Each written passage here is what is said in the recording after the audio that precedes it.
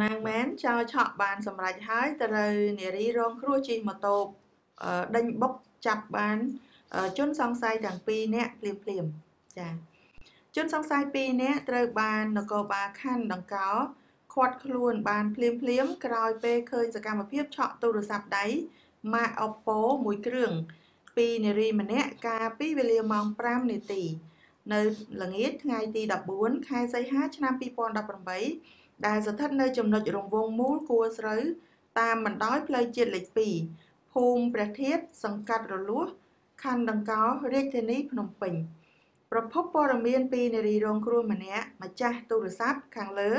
បានឲ្យដឹងថា មុនពេលកើតហេតុរូបគាត់បានជិះម៉ូតូមួយគ្រឿងចេញពីកន្លែងធ្វើការគោបំណងត្រឡប់ទៅផ្ទះខណៈពេលដែលជិះម៉ូតូបណ្ដើរនិយាយទូរស័ព្ទបណ្ដើរ ស្រាប់តែលេចមុខជនសង្ស័យ2នាក់ជិះម៉ូតូសេ160 125មួយគ្រឿងដប់គ្នាបានជិះមកក្បែរគាត់ហើយក៏បានធ្វើសកម្មភាពឆក់យកទូរស័ព្ទរបស់គាត់ហើយព្យាយាមបើករត់គេចខ្លួនភ្លាមភ្លាមពេលនោះនារីរងគ្រោះបានជិះម៉ូតូដេញតាម តែជាអកុសលជនសង្ស័យបានដួលម៉ូតូហើយនារីរងគ្រោះបានជិះម៉ូតូបុកថែមពី ពីក្រោយ បណ្ដាលឲ្យជនសង្ស័យរងរបួសត្រូវបានប្រជាជនជួយខាត់ប្រគល់ទៅឲ្យខាងសមត្ថកិច្ច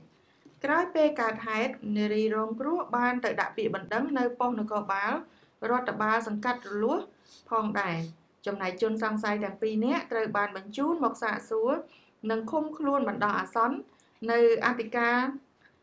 ខណ្ឌដង្កោដើម្បីកសាងសំណុំរឿង បញ្ជូនទៅតុលាការចាត់ការតាមនីតិវិធី